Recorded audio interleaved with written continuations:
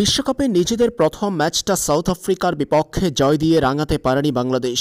একেবারে শেষ মুহূর্তে এসে পরাজিত হয়েছে জাহানারা সালমারা। নিজেদের প্রথম ম্যাচে সাউথ আফ্রিকার বিপক্ষে পরাজিত হলেও এখনও বাংলাদেশের হাতে বড় সম্ভাবনা রয়েছে বিশ্বকাপের সুপার ফোর খেলার জন্য। বিশ্বকাপে নিজেদের দ্বিতীয় ম্যাচে আজ স্বাগতিক নিউজিল্যান্ডের মুখোমুখি হবে বাংলাদেশ।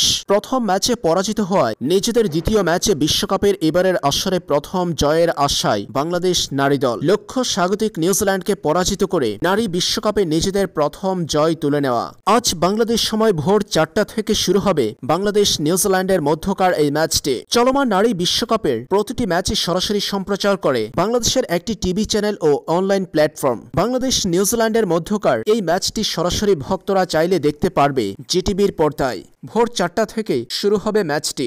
এছাড়াও র্যাবিট হোল বিডি নিজেদের অফিসিয়াল ওয়েবসাইটে সরাসরি সম্প্রচার করবে বাংলাদেশ, নিউজিল্যান্ডের মধ্যকার এই ম্যাচটি র্যাবিট হলের ইউটিউব চ্যানেলেও দেখা যাবে খেলা।